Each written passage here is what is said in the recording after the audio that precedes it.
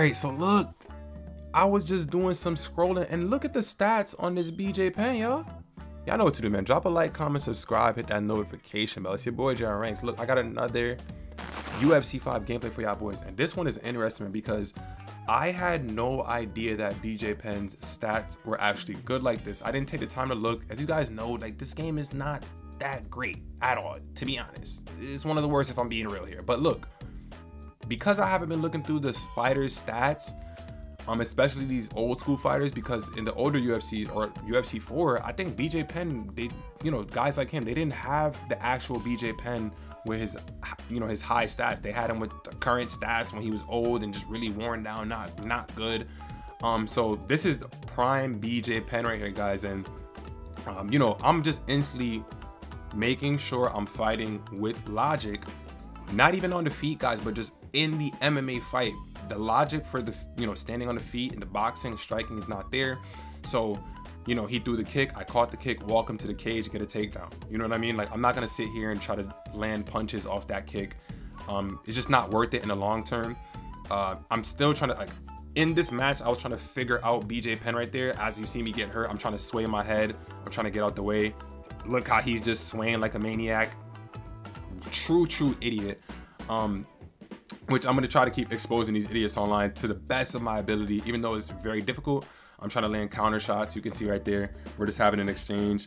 Um, and these people are always interesting, guys, because they don't usually have a setup. They're just pretty much spamming. You can see I'm not in range for him right there, but he's just going crazy spamming. You see me, I'm on the back foot, fighting smart. I check a kick, throw a left hook, trying to throw a one, two, um, jumping out the way, just trying to stay out of range overall as we get a great knock. I ain't gonna lie, we, we almost knocked them out right there. This, this should have been the end of the fight. This should have been the end of the fight, but look, look what happens, guys. Look, look how bad this game is. You can literally hurt somebody on the feet, drop them, go for the finish, and end up getting fully reversed into a half guard or full mount. How fake is that? Very fake and very, very stupid. And this has been in the game for like, what, the past two years or so? Or not the past two years, the past two UFCs, which is UFC 4 and UFC 5 now. It goes to show that the game is under, you know, underdeveloped once again, because that's just not a realistic thing at all. Um, but we're back on the feet again. Um, once again, I was able to hit, you know, hit him with that nice rear head kick because he's not setting anything up, guys. He's fighting wild. He's not looking what I'm doing. He's pretty much fighting like a maniac.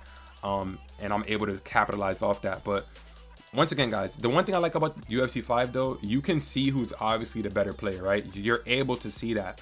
One guy may be block breaking, the other guy may actually be good. Um, and that's how it is with me 98% of the time. When I'm in a match with someone, either they're block breaking me or I'm just outsmarting them. Either or, it's not one or the other. It's either or. Either I'm outsmarting them or I'm just getting block broken. You know what I'm saying? Like I'm, I'm not coming on this game to fight like an absolute maniac, even though I could. I know how to throw combinations. I can walk forward and make it a, a bloodbath and just say, okay, who's gonna land first? But I don't want to. I don't want to have 50-50 fights because of me, as I get a knockdown right there. I want them to force 50-50 fights, and then from there, hey, if you're forcing a 50-50 fight and I'm playing more smart, I'm gonna rely on trying to be more smart nine times out of ten. Now, for the idiots that are running around thinking that this game is in a good state, because oh they learn how to block break. You guys are idiots and none of you guys are never going to grow. You want to know why you're never going to grow? Because you have a flawed mindset. If you had any common sense you'd want the game to be in its best state right? So people can show who's really the most skilled player right? Then we end up getting more viewers more people to buy the game and then as a result we all grow.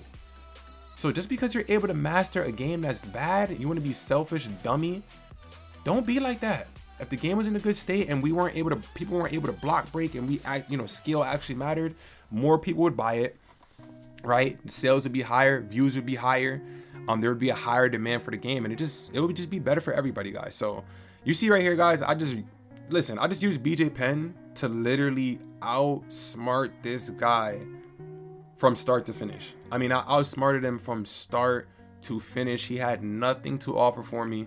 BJ Penn's a monster though, guys. He's a monster. Um, he has, I think his his punching speed is like a 96. So you're gonna end up, you know, outsmarting and beating a lot of people because even if someone's trying to block break you, if you're countering and you're being smart and you're staying out of range, you'll be able to actually land before they do. Um, and one thing that always works, guys, to stop block breaking, not fully stop it, but kind of put it to a halt a bit, is when you're landing that straight. Um, if you're in a southpaw position, you're landing that straight with triangle, or no, from square. And then if you're in an orthodox position, you're landing the um straight with with uh with triangle. So yeah, landing the straight on them hurts them a lot, and it'll change uh, you know the results of the fight. But guys, that's BJ Penn. Um, let me know what y'all think about BJ Penn in the comment section down below. Uh, in terms of this gameplay, have you guys used him yet? I think he might be one of the better welterweights in the entire game, to be honest. Like he he has everything that you need, um, except switch stance. Right? If someone does come out and they actually attack his leg, like they throw a lot of leg kicks early on, it could make things weird. His switch stance is like an 80. So, you know, if he has to end up fighting out of the opposite stance, it would probably be, be, you know, probably be a bad situation. So the fight played out the way it should have. He got all smarted and I dominated him. If you guys enjoyed this video with BJ Penn, let's get this video to 10 likes and I'll keep it coming for y'all. Keep the UFC 5 videos coming for y'all. Give me the 10 likes and I'll catch y'all boys in the next video, man. Peace. Gang, they cannot do it like him.